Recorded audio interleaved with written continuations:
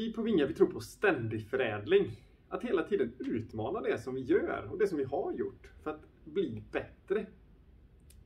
Ehm, vi gör det genom att skapa skräddarsydda lösningar för att visa uppskattning.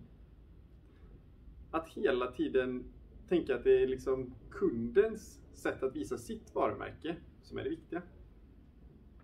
Ett exempel på det, det är vår inhouse-märkning. Där vi för två år sedan valde att starta upp en egen produktion av lasergravyr.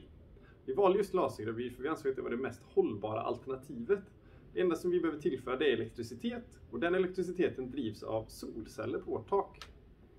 Ehm, och man tänker direkt kanske att sättet att lasergravera, då blir det hårda produkter som termosar och så som man kan göra. Och absolut, det kan man.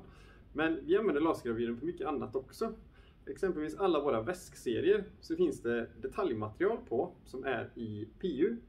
Och det PU-materialet går att lasergravera och vi har det materialet på lager. Och Det är för att vi vill skapa en helhet av produkten. Vi vill att det ska kännas som kundens egen produkt, inte som att vi har applicerat deras logga på en redan befintlig produkt. Eh, fonden ser ut så här, där vi har samlat alla material.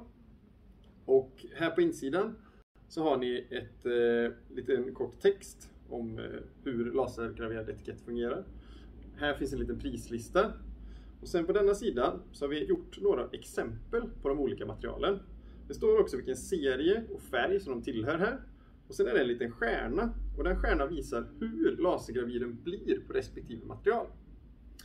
Och här har vi också satt in en eh, exempeletikett för att se hur det färdiga resultatet kan se ut. Och man kan skära etiketten precis i vilken form som man önskar. Ehm, den här foldern kan ni beställa nu.